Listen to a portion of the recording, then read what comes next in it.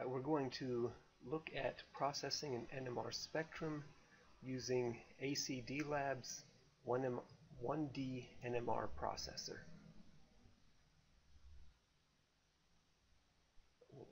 Close this window, open File. The files tend to have a number of experiments within a given one, so you could have one with proton, carbon, DEPT, HETCOR, etc., different types of experiments. Uh, what we are interested in today is a Wittig NMR. We only acquired one, a proton NMR spectrum. In this we'll find a number of files. The one we are interested in is the FID. It stands for free induction decay, and we have a preview of that here. We open it up, and we see this uh, free induction decay. This is the raw data that we will need to process. We'll start by zero filling. We want the points count to be at least twice that of the original. So we'll click the up arrow twice, click OK, and now we Fourier transform the data and we convert it into something we recognize as an actual spectrum. Now we want to zoom in on the area that has peaks, we don't care about all the rest of this, so we click on this tool here that says horizontal zoom, and we click and drag, we'll highlight some area. When we release, we're zoomed in on that particular area. Uh, we can zoom in further if you wish to look at a particular pattern. We can undo the last zoom with this key or we can go all the way back to the entire spectrum. I'm just going to step back one level. So this is our spectrum. Usually we want to have some uh, integration data and peak picking, although before we get to that, one other thing to look at is the phasing. So I'm going to click the phase button here, puts us into phase mode. This spectrum is well phased, but I'm going to get a spectrum not so well phased, you can see here the peak is not symmetrical on the sides. You've got a distorted baseline. This is poorly phased. Uh, we can do mouse phasing, and when we do that, we have a red line. Use the left mouse button, and you want to get the baseline level as well as possible near that red line. And then you go to an area far away and this point we use the uh, right mouse button and we phase the other end. An alternative is to try one of the three auto. The auto symmetric doesn't give us a very simple one. We can try this, uh, gives us a nice baseline, auto simple. Usually at least one of these three automatic adjustments will give you a good uh, baseline. And so that's usually a good place to start. If you're happy with your results, can click the green check mark, gets you out of phasing mode and accepts the changes. If you don't like what you've done, you can do the red X and it will get you out without applying any of the changes you've done. So we have a well-phased spectrum. We'll go to peak picking. This allows us to put uh, the frequency of the various peaks, the chemical shift, the Good place to start is the peak level. We click that, and now we have a horizontal red line. Any peaks above that line, when we click, will be labeled with the chemical shift. And if we have the line too low, we can just raise it again, so each time you click, it will reapply the peak picking based on where your uh, horizontal line is. You can supplement that if you don't want to have too many peaks, you can have a start with a high threshold and then come in and do peak by peak. And then here, for example, this peak that's under the red cursor does not have a label. I will just simply bring my cursor near it, click, and that is added.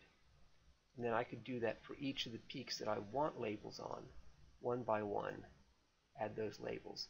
And one thing I'll point out is if the pointer is above the peak, it does not label it.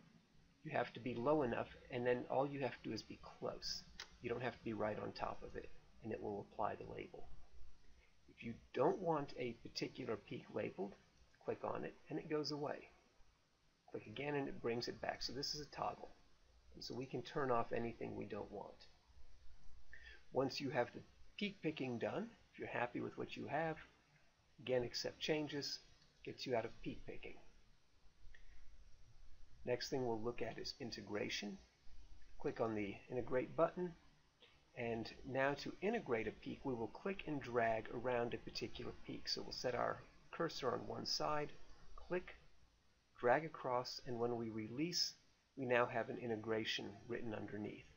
Uh, this value, for some reason, program defaults to very small values. We can change that by either clicking up or typing a value in here. So we could type 3, and then our integration is set to 3. We can integrate each peak in that fashion.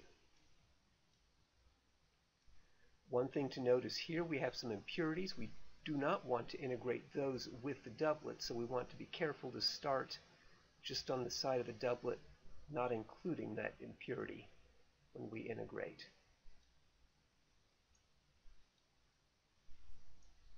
And then we'll come down this end and integrate these peaks as well. One thing to notice is that our quartets here are fairly well separated, and so we could potentially integrate each one separately instead of integrating them as a group.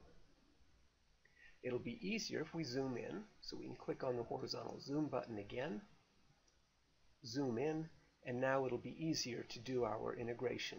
We do need to leave zoom, so we click on that again to exit zoom, and then click and drag to do the integrations. And then again we can back out of our last zoom and we see all of the integrations. We're happy we can accept changes and exit. If you want to delete a particular one, unclick manual. So now we have nothing selected up here. At this point we can select a particular integration just by clicking on it and we can change the value. So if we want this peak, for example, to be set to 2, we could simply type 2 in here, and now that peak is set to 2 and everything else is adjusted accordingly. We can also click and delete an integrate, an integral there. Uh, go back to manual. Of course, we do want this one, so we're going to reintegrate and bring that back. Right. Accept our changes. So we now have an integrated uh, spectrum with peak picking. One other option I will show is under Options, Preferences, we can select to uh, have our integrate integrals uh, reported to a particular number of decimal places. I have it defaulting to 2 and that's probably a good value. There's really no need to have any more uh, decimal places than 2.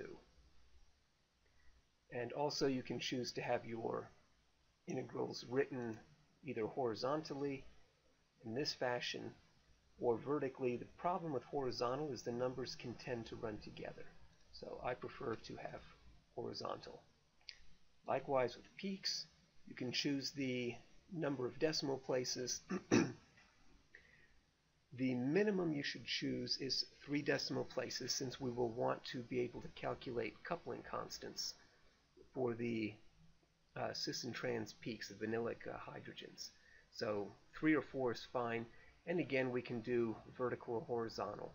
And we will stick with the uh, vertical so we don't have numbers running into each other. Click OK. And we have our spectrum.